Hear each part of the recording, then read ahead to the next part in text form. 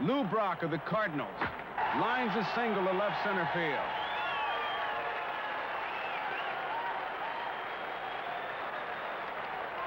Lou Brock, but it doesn't work. There he goes. Safe, a stolen base. Watch it again. Munson has to hurry his throw, and it's wide.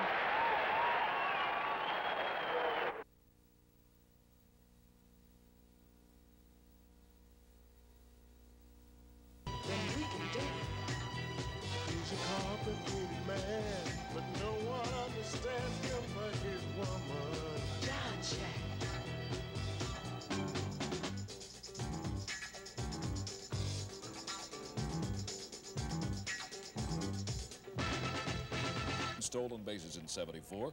Lou draws a crowd everywhere he goes. No one, including Brock, who at 35 is the highest paid Cardinal in history. He's headed right after a record set by the legendary Ty Cobb, who holds the lifetime base stealing mark of 892. And that's number 876 for Lou.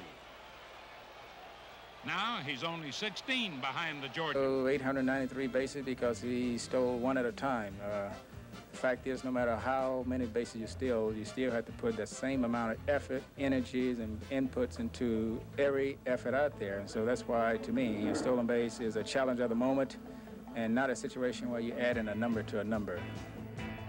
That night in San Diego was a mighty big moment because it established Brock as the greatest base stealer ever.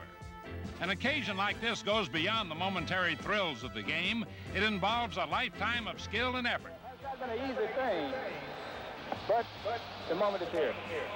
And I, all I can say, looking back on it, uh, Randy, uh, I did it my way. No question, Lou, your way is unique. Lou Brock has been a one-man show in St. Louis for years. This will be his last time. He's now played 2,500 games, needs fewer than 100 hits to reach 3,000.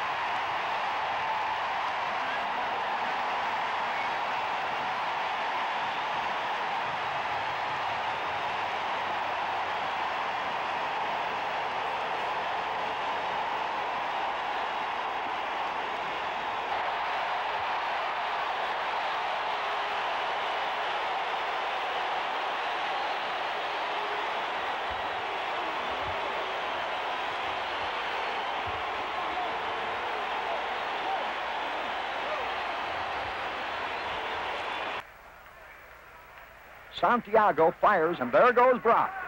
He steals second. Waslewski checks Brock and then pitches to Flood, and there goes Lou on another steal. He beats the throw easily. Usually does, but he wants to make sure that he can read McLain. He stole 25 bases his last 28 games of the season. Two down, Brock at first. There he goes. Throw. He's in there easily. He'll be up and on his way to third. Look at that daring lead by Brock. Lolich tries to pick him off, but Lou immediately breaks for second. It's his second steal of the game and third of the series. Good hit and run man. Can handle that bat. There goes Brock. The pitch low and inside, and Brock now has stolen four out of four.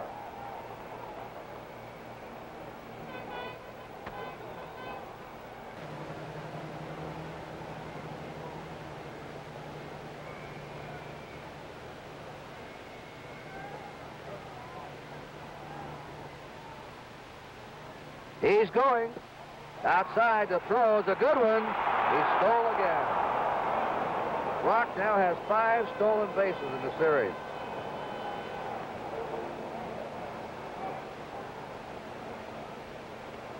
Here he goes, and the throw was right there, but it hit Brock, I think, as he slid into it. You see the throw hit Brock on the leg just as it hit the glove of Stanley and bounded away. So another stolen base for this great base runner.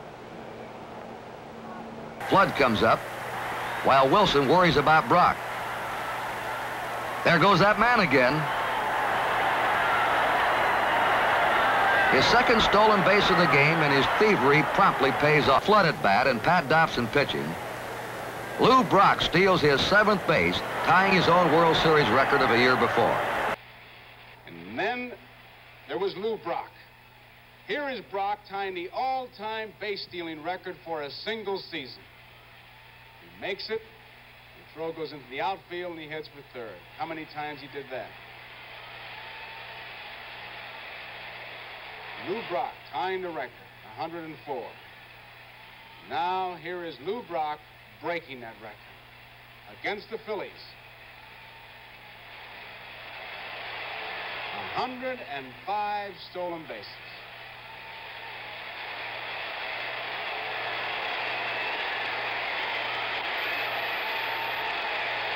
Well, I feel that, again, uh, the lack of appreciation for the stolen base. I think most people feel that a stolen base is an individual effort.